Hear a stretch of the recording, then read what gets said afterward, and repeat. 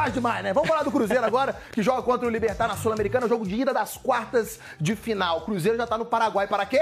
Pra jogar contra o Libertar, que tem um monte de veterano no time, cara. Um monte de jogador com 40 a mais, né? Aí, ó, você falou, goleiro Martins Idade Silva. não é documento, os caras são bons. Então- O Martins Silva é o goleiro titular. O Taquara, Oscar Taquara Cardoso, foi até da seleção Não é Taquara paraguaia. Rachado. Não é Taquara Rachado, 41 anos, é titular também. O Ribeiro jogou no Grêmio.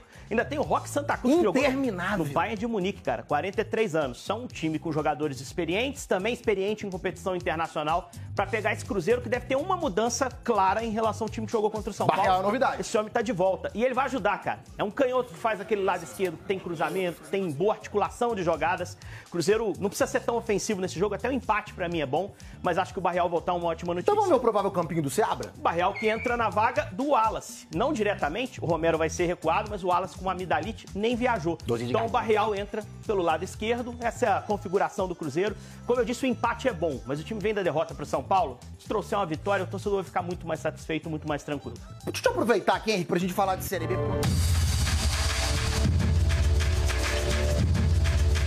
Uma raridade.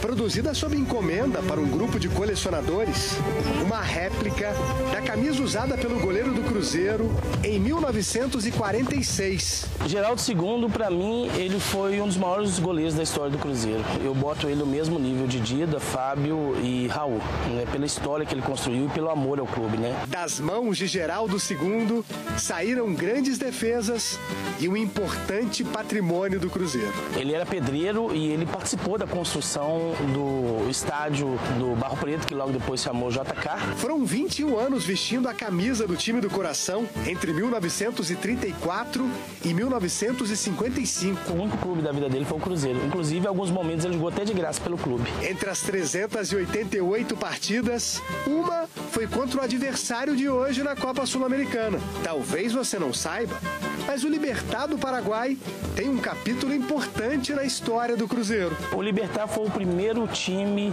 estrangeiro que jogou com o Cruzeiro. Belo Horizonte, 3 de janeiro de 1946. No dia anterior, Cruzeiro completou 25 anos. Como parte das comemorações, convidou o Libertar para um amistoso. O Libertar estava numa excursão pelo Brasil, né? tinha acabado de passar por São Paulo. Numa noite de quinta-feira chuvosa, o público foi de 7 mil pessoas. Um bom número, de acordo com a imprensa da época. O jogo foi disputado no estádio Juscelino Kubitschek de Oliveira, onde hoje fica o Parque Esportivo do Barro Preto. Ali está uma lembrança da época. Parte da arquibancada foi preservada. A partida terminou empatada por 2 a 2. O Cruzeiro saiu na frente com gols de Ismael e Braguinha. Dias entrou no segundo tempo e fez os dois gols do time paraguaio. Jornais destacaram a garra do time paraguaio e uma confusão durante o jogo, porque o Libertar queria recolocar jogadores que já tinham sido substituídos. E o árbitro autorizou. Os jogadores do Cruzeiro que não deixaram que isso acontecesse, deu uma confusão e acabou que eles não entraram em campo. O primeiro de quase 600 jogos do Cruzeiro contra times do exterior. O início de uma cabulosa trajetória internacional que foi interrompida por quatro anos Cruzeiro é mais uma equipe brasileira eliminada na Libertadores 2019. até ser retomada nessa temporada.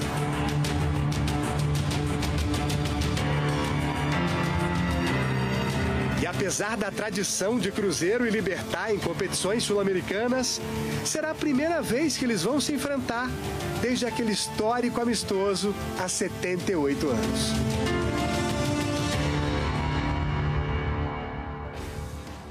Muito interessante essa história. Mas e hoje, 78 anos depois, é Copa Sul-Americana, quartas de final, jogo de ida, um baile em Assunção, capital do Paraguai. Amanhã a gente te conta tudo aqui no Globo Esporte. Obrigado pela companhia. Um beijo, boa tarde. Globo Esporte é quem? Globo Esporte é nós. Fui, valeu, hein? Volta, meus amores. E agora vamos acompanhar este pré-jogo do Cruzeiro pela Sul-Americana.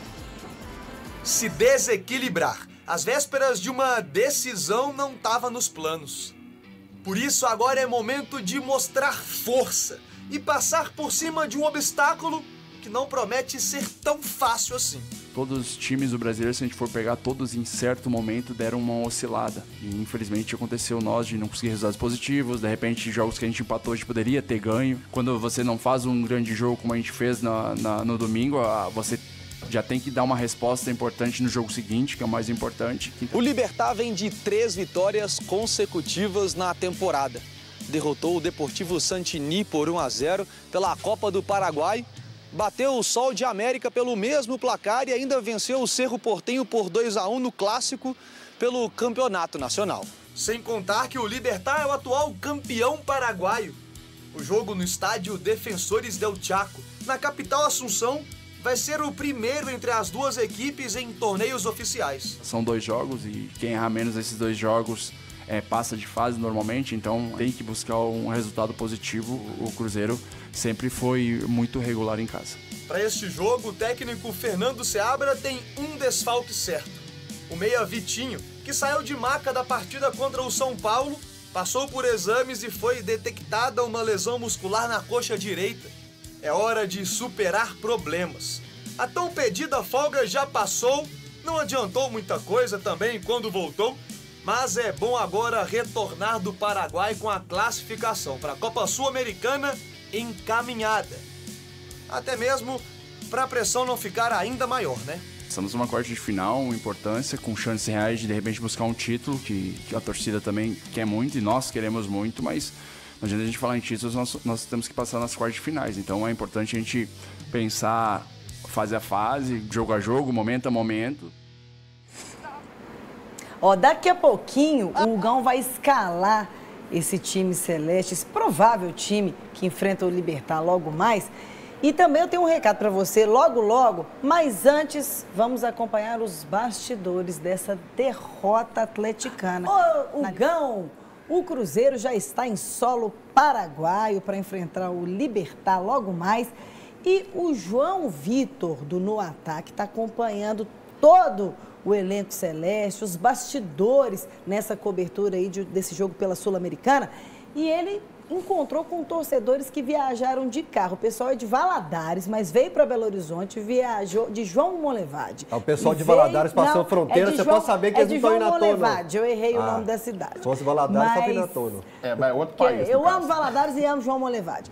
E eles são de João Molevade, vieram para Belo Horizonte, Toledinho, e foram de carro para o Paraguai, mais ou menos 1.800 quilômetros, e chegaram lá para ver o elenco. Não conseguiram ver, não, porque eles isolaram a área do hotel lá no momento que os torcedores estavam, mas vamos acompanhar esses depoimentos aí.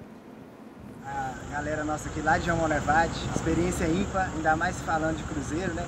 Sempre é um prazer acompanhar nosso time e de quebra conhecer um país diferente também. É, tamo aí, sempre que dá, nós ficar pra estar perto de vocês, não só no Mineirão, né? Pelo Brasil afora aí também, e mundo, né? Ah, no fechado você abre.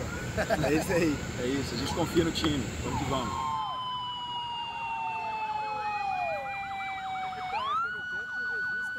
casa ela tá muito rigorosa nessa condição dos torcedores poderem acompanhar os times, né? Ver essa condição do torcedor, viajar 1.800 quilômetros para poder estar próximo do time, chegar ali pelo menos naquela região do hotel ali. Aqui no Brasil tem mais facilidade. Agora lá fora é muito difícil a gente se aproximar dos times e a única coisa que a gente quer é ali, passar esse Gão, calor, e né? tem um detalhe que não coube aí na matéria, mas esses meninos eles falam o seguinte: será que eles estão meio bravos porque tá tendo vai nos jogos? Mas a gente não tava no último jogo, não, a gente não vaiou o Seabra, não. Eles ainda tá, tentaram se defender, coitados. É, mas as vaias no último jogo realmente foram merecidas, mas hoje a gente está numa trégua. O Cruzeiro, se Deus quiser, vai ganhar do Libertar e trazer uma vitória para Belo Horizonte. Fica aqui mais uma vez a cobrança à Comembol para que possa permitir que o torcedor fique ali na beira do hotel. Você faz uma parte de isolamento ali, onde os jogadores possam ter esse acesso, sentir o calor da torcida. Essa condição fica muito fria e nós somos latinos, gente. Latino-americano, o pessoal gosta do calor mesmo, sentir a torcida, é isso aí. ué. E a sede da Comebol é exatamente aí do lado. E aí o legal é que Assunção é uma cidade muito bacana. Eu tenho certeza que os cruzeirenses que estão lá vão poder curtir aí, né, um lugar bem legal. Voltar com umas comprinhas também. Não, lá tá caro, velho. As coisas lá estão baratas. Ó. É mesmo? João Vitor Pena, nosso querido repórter do No Ataque, tá no Paraguai para trazer informações e logo depois o Gão vai escalar o time celeste. Boa tarde, Bel. Boa tarde, bancada do Alterosa Esporte. Estamos aqui em Assunção, no Paraguai, onde o Cruzeiro enfrenta o Libertar pela Copa Sul-Americana. A Raposa chegou com um desfalque, que foi o volante Wallace, que sofreu amidalite durante essa semana e não apresentou uma melhora, por isso não viajou com o restante do elenco. Já o retorno ficou por conta do meio atacante Álvaro Barreal, que estava com dores no tornozelo esquerdo e agora pode retornar ao time titular ou pelo menos entrar no segundo tempo de acordo com a avaliação que o técnico Fernando Seabra fizer e os médicos do clube. O Cruzeiro ele fica por alguns dias em Assunção. A chegada foi na noite dessa quarta-feira, de forma bem discreta, sem contato com torcedores ou com a imprensa. Os ônibus entrarão direto no saguão do hotel, que fica em Luque, na região metropolitana da capital paraguaia. Uh, depois, o Cruzeiro viajará direto para Cuiabá, onde tem um compromisso na 27ª rodada do Campeonato Brasileiro, contra o Cuiabá. Uh, então, o Cruzeiro joga nessa quinta-feira no Defensores El Chaco, na sexta-feira e no sábado treinará em um centro de treinamento que não foi divulgado, depois viaja direto no próprio sábado para Cuiabá, aí sim, depois retorna para Belo Horizonte, onde tem a volta né, das quartas de final da Sul-Americana contra o Libertar na próxima quinta-feira. Obrigado, João, e a galera do No Ataque aí pelas informações. Vamos direto para a escalação. Vamos de Cássio, Zé Ivaldo, João Marcelo, o William, Marlon e aqui a escalação que eu gosto, com o Matheus Henrique e o Romero, com o Romero segurando mais aqui e o, Henrique, e o Matheus Henrique trabalhando por aqui, ó. Eu escalo o Barrial aqui pelo seguinte: o Barrial é um jogador mais leve. Então, de repente, numa condição de, de, alcançar o melhor condicionamento físico, ele não tem tanta dificuldade com isso. Matheus Pereira também dando esse suporte aqui com o Barrial, optando bem por esse corredor aqui do lado esquerdo, dando suporte também para o Marlon, para a gente poder não ficar tomando aqueles contra-ataques malucos. E vamos de Lautaro Dias e Caio Jorge. Espero que o Seabra tenha colocado os dois centralizados dentro da área para essa galera que trabalhar bem no meio-campo e a bola chegar com qualidade para eles, para o Cruzeiro e para cima do Libertar, Bebel. Maravilha, Gão. E agora, Toledinho, para sua alegria, nós vamos ver a zona